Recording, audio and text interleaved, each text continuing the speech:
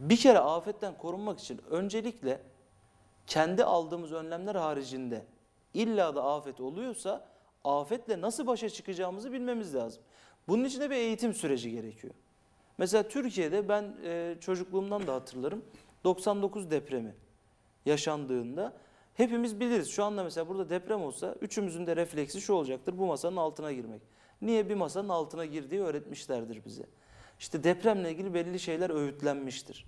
Bunları öğrenmişizdir. Neden bunu yaşadık? Çünkü çok yakın zamanda deprem yaşanmış ve insanlara eğitim verilmeye başlanmış. Halbuki bu eğitimin depremden önce verilmesi gerekiyor. Sonra değil. Selde de aynısı geçerli. Yangında da aynısı geçerli. Veya toprak kaymasında aklınıza hangi afet geliyorsa bu durum geçerli. Yani sonuç olarak e, eğitim politikamızın içine afet yönetimlerini koymamız gerekiyor. Bugün var mı? Sözde var.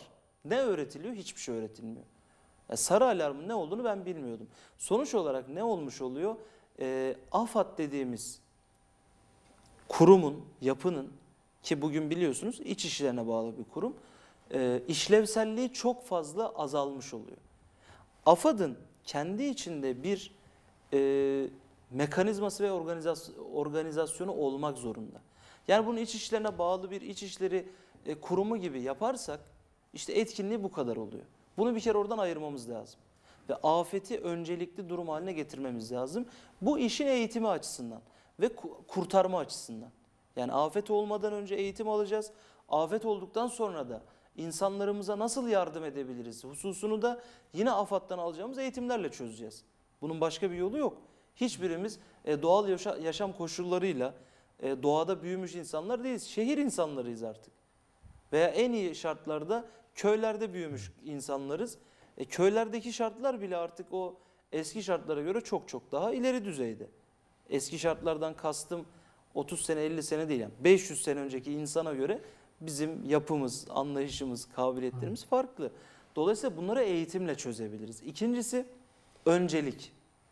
Bizim depreme, sele, felakete kısaca öncelik vermemiz gerekiyor.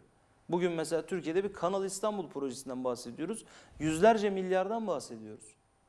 E bu para Türk İstanbul'daki olası bir depremde zarar görme ihtimali olan binaların güçlendirilmesiyle veya yenilenmesiyle ilgili olarak kullanılsa İstanbul'da bizim deprem korkumuz olmaz.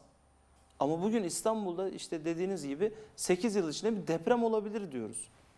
Bu ciddi bir problem. O yüzden önceliklerimizi iyi belirlememiz lazım. Tamam 3 kuruşumuz varsa bu 3 kuruşu geleceğimize, sağlığımıza ve afetlerde yok olmayacak bir dünyaya yatırmamız lazım. Bu çok temel bir özellik. Öncelikleri belirleyeceğiz. Ee, Bu bir Kanal İstanbul konusunda e, bilim insanları özellikle Naci Görür Profesör Doktor bir ifadesi vardı.